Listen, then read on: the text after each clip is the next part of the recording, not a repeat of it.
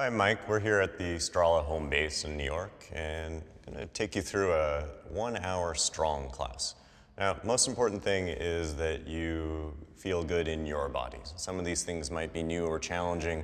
Just want to find a way that feels good to you the entire time. So let's get started. We'll start just sitting comfortably, close your eyes and rest your hands. Just maybe breathe a little bit deeper here. And tip to side angle this time. Forearm to thigh and a deep breath just to feel here. Slowly, softly down to your belly. Maybe rock a little gently side to side. Now let's do some lift ups. So as you inhale, lift your hips up for one. Easing your knees, left toes slowly to the back of your mat. And press down to your feet. Inhale, pulls you straight high. And exhale, easy, tip it back, reverse. Breathe to the back. And we float right on through to warrior three.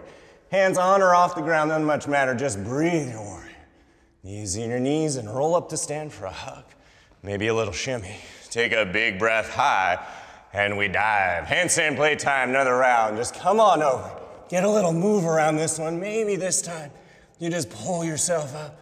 Maybe you take a little dance around it. So your legs are working about as hard as your arms are when you're walking. So you're just treating this as rolling around in your belly, your hips, just feeling. You're here to feel.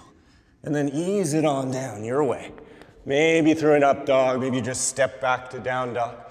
Just find a nice way to come on back. Once you're in that downward dog, we got a left side, but first, round out high into a plank exhale. Ease it low. Maybe rock gently from palm to palm here. Just feel around a bit. And take a seat. And from here, it's the time in class where we hug ourselves. So just give your knees a little squeeze. Maybe rock gently side to side here.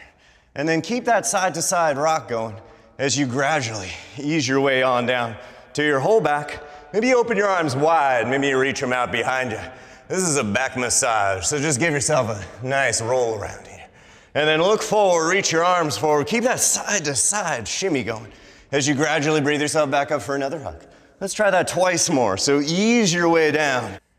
And then from here, shifting your hips a little bit back, I'm gonna head for a pigeon. So you could just shift your weight back so there's no weight on that foot. Then it can ease its way to the right. And then with weight in your arm so it doesn't go in your knee, you're gonna ease that knee down. And your pigeon, you got lots of options here. So you might just sit on this hip here rather than having it up in the air. That's a good way to keep this in your hip and not challenge your knee. Oh, you just find your own way into something good. Could be all the way high, could be halfway down. You might take a twist around the thigh. That feels really good to me today. You find your own way into something good and just stay here as long as you want. If it's feeling good where you are, you found it. You just stay. If you want to start to explore around it, you start to explore around it. Bits. And when you're ready to come up to sit, see if you can find the easiest way for you to come on up. So as little effort as it takes. Thank you. That was a Strala one hour strong. Hope you had a good time.